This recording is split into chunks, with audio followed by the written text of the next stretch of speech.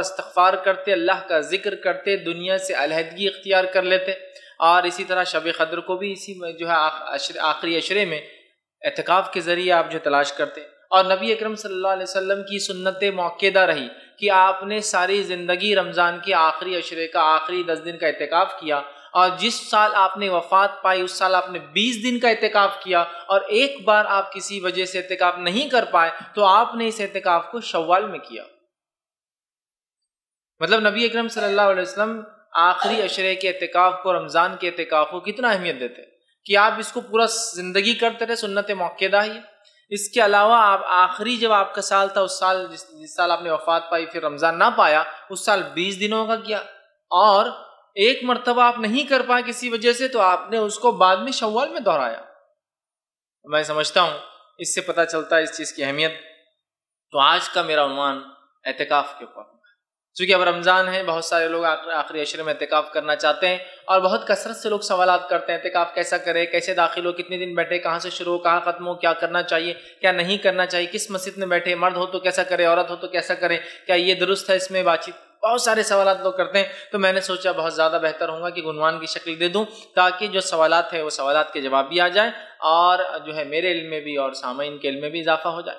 ٹھیک؟ تو بہرحال تو اعتکاف کے تعلق سے میں رکھنے والا ہوں۔ تو اعتکاف کی اہمیت دیکھی کہ نبی اکرم صلی اللہ علیہ وسلم ساری زندگی کرتے رہے۔ آخری زندگی کے آخری رمضان نے بیس دن کیا۔ ایک بار نہ کر پائے تو آپ نے شوال مطلب رمضان کے بعد والے مہینے میں اس کو دہرایا مطلب اس کو کیا۔ اس سے اس کی اہمیت پتہ چل جاتی ہے۔ اور کیوں نہ ہو، آخری اشرے کی جو اہمیت اتنی زیادہ ہے۔ نبی اکرم صلی اللہ علیہ وسلم کا آخری اشرے میں اعتکاف کرنے کی ایک حکمت یہ بھی جو علماء لکھتے ہیں وہ یہ ہو سکتی ہے کہ اس میں للت القدر آتی ہے اور للت القدر ہزار مہینوں سے افضل ہے تو اس سے بہتر کیا طریقہ ہو سکتا ہے کہ للت القدر بھی مل جائے اور بندہ اعتکاف میں ہو؟ مطلب مکمل طور سے دنیا سے منہ موڑے ہوئے ہو اور ایک جگہ اپنے آپ کو سمٹ کر اللہ کے ذکر کے لیے اس نے جمع کر لیا ہو اور اللہ کے ذکر اور دین کے علاوہ وہ نہ کچھ بولتا ہے، نہ کچھ کام کرتا ہے یاد رکھیے اور کتنا افضل ہے نا کہ آخری اشرا بھی پا لیا، اعتکاف بھی ہوا اور قدر بھی پالی شب قدر کو بھی حاصل کر لیا۔ اسی لیے نبی اکرم صلی اللہ علیہ وسلم علماء لکھتے حکمت یہ بھی ہے کہ للت القدر پانے کے لیے جو ہے، کیوں تو آخری اشرا ہے،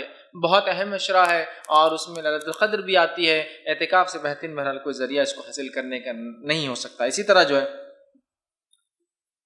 جو ہے للت القدر کو تلاش کرنے کا یہ بہرحال بہترین ایک ذریعہ بھی ہے۔ اور اعتکاف اعتکاف ایک ایسی چیز ہے، اعتکاف کے ذریعے ایک بندہ دنیا سے منہ موڑ کر، دنیا داری سے منہ موڑ کر، اور بزنس اور تجارت کو ترک کر کے آخری اشرے میں جو بہرحال آج کل کا ماحول ہے، خرید و فروخت، بزنس اور تمام بہرحال دنیا داری سمجھتی ہے۔ رمضان شروع ہوتا ہے، پہلا اشرا کم دنیا داری نظر آتی ہے، دوسرا اشرا دنیا داری بڑھ جاتی ہے، اور تیسرا اشرا تو ایسا لگتا ہے پورا دنیا داری کے لیے۔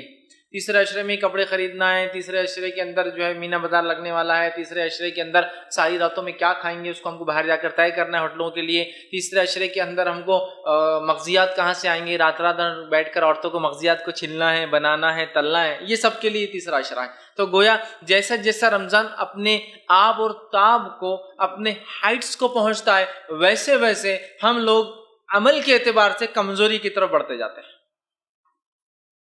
کمزوری کی طرف بڑھتے جاتے ہونا تو یہ چاہیے تھا، جیسے جیسے رمضان اپنے تاب کو پکڑ رہا ہے، اپنے آخر کی طرف جا رہا ہے، اور کیوں نہ ہو؟ کسی بھی چیز کی خاتمے پہ آدمی کو زیادہ غم ہوتا ہے نا؟ یا زیادہ لگاؤ ہوتا ہے۔ زیادہ تو چھوڑیے آپ ایک مہینے کا رمضان۔ چھوٹا سا ایک سفر کر رہے ہیں آپ، اورنگ آباد سے نکل کر کسی شہر پہ آپ جا رہے ہیں۔ تو جب وہ شہر پہ پہنچنے سے پہلے جس کے ساتھ آپ بیٹھے ہیں، گو، اس سے آپ نے ایک بار بھی بات نہیں کی پورے سفر میں، تو بھی اترتے وقت تھوڑا سا کچھ نہ کچھ آپ بولتے ہیں میں اتر رہا ہوں یہاں۔ حالانکہ نہ اس سے پوچھ کے آپ کو چڑھنا ہے، نہ اس کو بول کے اترنا ہے آپ کو۔ لیکن ایک لگاؤ ہو جاتا ہے صرف بیٹھ کر دیکھنے کو ایک دوسرے سے۔ تو رمضان اب خاتمے کی طرف ہے اور ہم لوگ دنیا داری کے بالکل عروج پر ہوتا ہے گھر کی صاف صفائیاں ہیں، گھر دھل رہے ہیں، صوفوں کے کور بدلے جا رہے ہیں، دیواروں کو رونق اور رنگت کی جا رہی ہے اور صاف صفائی ہو رہی ہے اور عید کے لیے کیا بنے گا پلاننگ ہو رہی ہے۔ لیکن وہ مہینہ جس کو گزارنا ہے جیسے، جس کے بعد عید آتی ہے، اس کو ویسے نہیں گزارے تو عید کا کیا مانا رہا؟ عید تو اس کی نہیں، جس نے کھایا، پیا اور خوب اوڑا اور خوب پہنا عید تو اس کی اس نے تخوہ اختیار کیا۔ اللہ سے گناہوں کی معافی مانگی اس مہینے کے اندر اور اپنے لیے مغفرت جو اللہ سے طلب کی جنت کا جو ہے راستہ اپنے لیے بنا لیا۔ یہ اصل بات ہے۔ بہرحال، تو ہم جو ہے دیکھتے ہیں کہ ہم احتکاب جب کرتے ہیں تو مکمل دنیا داری کو چھوڑ دیتے ہیں اور مسجد میں ایک کونا پکڑ لیتے ہیں۔ اللہ سے اپنا تعلق قائم کرتے ہیں۔ اور اعتکاف کے تعلق سے میں یہ بات کہوں گا، اعتکاف اللہ کی طرف رغبت اور اس سے محبت اس سے تعلق اور اس سے، اس پر توکل کا سب سے بہترین ذریعہ ہے۔ اعتکاف، یہ ایک ایسی عبادت ہے جو اللہ کی رغبت، محبت، تعلق اور اس پہ توکل کا توکل کا سب سے بہترین ذریعہ ہے۔ تو ہمیں چاہیے کہ ہم اعتکاف کریں۔ اعتکاف کرنے سے جو ہمارا دل ہے، جو کالا ہوتا جاتا ہے، سیاہ ہوتا جاتا ہے، بلیک ہوتا جاتا ہے گناہوں اور معاشیتوں سے اعتکاب بہترین ذریعہ ہے کہ سیاہ اور کالے دل کو قلب سلیم ہم بنا لے، ایسا دل جو رب کے سامنے جھکتا اعتکاب بڑا بہترین ذریعہ ہے، یہ کوئی معمولی عبادت نہیں ہے، یہ بہت اہم عبادت ہے، بندہ سب